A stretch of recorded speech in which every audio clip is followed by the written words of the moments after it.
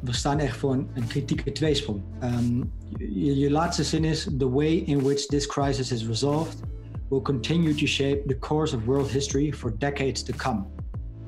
Absoluut. Ja, heel kort gezegd denk ik dat we ons nu echt op een historisch kantelmoment bevinden. En dat gevoel leefde denk ik al bij veel mensen voor deze coronacrisis. Uh, we zagen het al uh, qua economische crisis, qua sociale ongelijkheid, qua opstanden, qua politieke polarisering en instabiliteit. Uh, de hele internationale orde die in feite is gecreëerd na de Tweede Wereldoorlog onder ja, eigenlijk toezicht van de Amerikaanse grootmacht.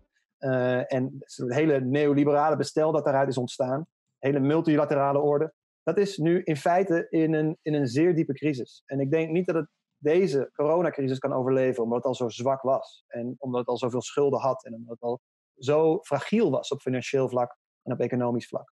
Eh, en daarnaast ook op politiek vlak. Dus ik denk dat hieruit een nieuwe wereld zal ontstaan. De vraag is, wat voor wereld ontstaat uit deze crisis? En dat is natuurlijk iets wat een sociaal-politiek, uh, sociaal-politieke kwestie is. En daar moet je gaan kijken naar ja, de, vormen van sociale strijd, uh, de politieke conflicten, de geopolitieke conflicten, die zullen ontstaan in de nasleep van deze crisis. Want ooit zal die pandemie overgaan. Uh, er komt hopelijk ja, ooit een, een vaccin. En hopelijk kunnen we allemaal binnenkort weer naar buiten. Uh, maar de vraag is, wat gaan we doen als we weer de straat op kunnen? Kunnen we uh, dan op dat moment samenkomen om die strijd uh, te verheftigen en gewoon echt ervoor te zorgen dat we nooit weer in eenzelfde situatie terechtkomen met z'n allen? En ik denk dat dat echt het historische kantelpunt is waarop we ons nu bevinden. En wat mij betreft ja, worden alle tegenstellingen die zich op dit moment manifesteren alleen maar intenser in, in, in de komende jaren.